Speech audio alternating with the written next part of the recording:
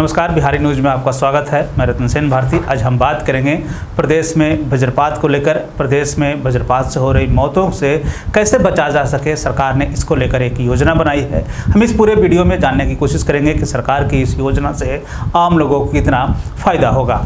बिहार में मौसमी सीज़न के बीच में वज्रपात से अब तक एक सौ इकसठ लोगों की जान चली गई है। सीएम नीतीश कुमार ने ठनका से बचने के लिए सभी सरकारी इमारतों पर तड़ित चालक लगाने का फैसला लिया है। साथ ही साथ बिहार राज्य आपदा प्रबंधन प्राधिकरण की ओर से जागरूकता अभियान चलाया जाएगा, जिसके ज़रिए ग्रामीण इलाके के लोगों को आकाशीय बिजली से बचने के लिए जागरूक किया जाएगा। साथ ही साथ वज्रपात की सूचना तुरंत लोगों के पास पहुंचेगी। बिहार के सभी शहरी और ग्रामीण इलाकों के सरकारी भवनों पर जल्द से जल्द तड़ित चालक लगेंगे। मुख्यमंत्री नीतीश कुमार ने इसे लगाने के लिए विशेष अभियान चलाने को लेकर दिशा निर्देश अधिकारियों को जारी कर दिया है। उन्होंने कहा है कि सभी सरकारी विद्यालय, पंचायत भवन, प्रखंड, अंचल, अनुमंडल कार्यालय सहित अन्य सरकारी भवनों पर तड़ित चालक लगाने को सुनिश्चित किया जा सके।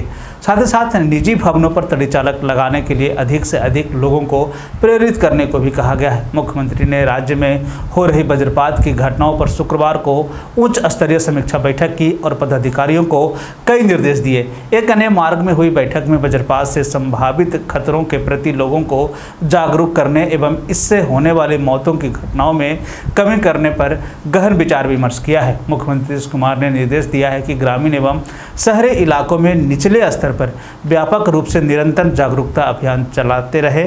सभी जिलाधिकारी अपने अपने जिलों में विशेष रूप से निगरानी रखें और अभियान चलाकर एहतियात के तौर पर लोगों को सचेत करने की बात जो है उन्होंने कही है। सीएम नीतीश कुमार ने कहा है कि जिन क्षेत्रों में संभावित ठनका गिरने की पूर्व सूचना प्राप्त हो, उन इलाकों के लोगों को तत्काल इसकी जानकारी TV, social media, SMS, mobile, radio सहित अन्य माध्यमों से दी जाए। साथ ही साथ पंचायती राज प्रतिनिधियों को भी संभावित संभावित वज्रपात की चेतावनी एसएमएस से समय पर दे। मुख्यमंत्री ने कहा है कि वज्रपात से हुई मौत पर मृतक के आश्रितों को चार लाख रुपए का अनुग्रह अनुदान देने का प्रावधान है। यह अनुग्रह अनुदान ससमय पीड़ित परिवारों को उपलब्ध कराए। बिहार राज्य आपदा प्रबंधन प्राधिकरण के माध्यम से भी जागरूकता अभियान चलाया जाए। जागरूकता अभियान में और भी अधिक तेज़ी लाने से साथ साथ उन्होंने ये भी कहा कि निचले स्तर के लोगों को खास करके जागरूक किया जा सके।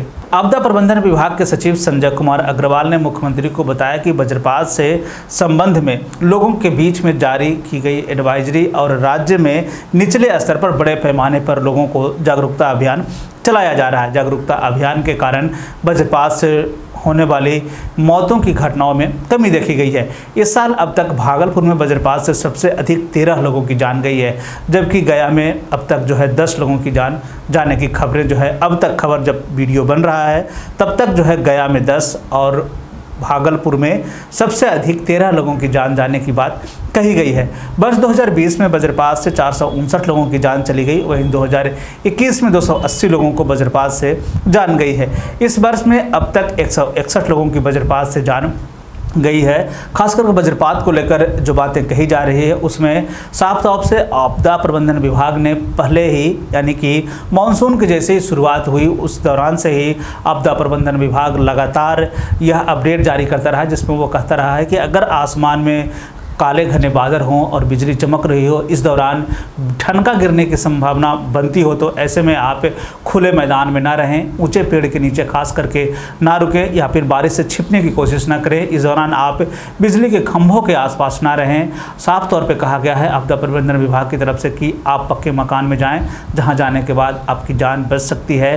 ठनके से आपकी जान बच सकती है। इस दौरान ठनके से बचाव को लेकर भी लगातार आपदा प्रबंधन विभाग ने कई अपडेट साझा किया है, जिसमें कहा, अगर आप खुले में हैं और एक समूह के साथ हैं तो आप ज़मीन पर नीचे लेट जाए, बैठने की कोशिश करें, खड़ा ना रहें, क्योंकि वज्रपात जो है ऊँचे स्थानों पर ज़्यादा देखने को मिलती है। हालाँकि बिहार सरकार ने जो है अब वज्रपात से बचने को लेकर, खास करके अपडेट को लेकर जो उन्होंने तड़ित चालक संयंत्र जो है सरकारी भवनों में लगाने की बात कही है और निजी लोगों को भी कहा है कि आप जागरूक हों ताकि आप भी अपने घरों के ऊपर जो है तड़ित चालक लगवाएँ, जिससे कि लोगों की जान बच सके। बिहार और बिहार से जुड़ी हुई और भी ऐसे खबरों के लिए बने रहें बिहारी न्यूज़ के साथ। मुझे दीजिए इजाज़त। धन्यवाद।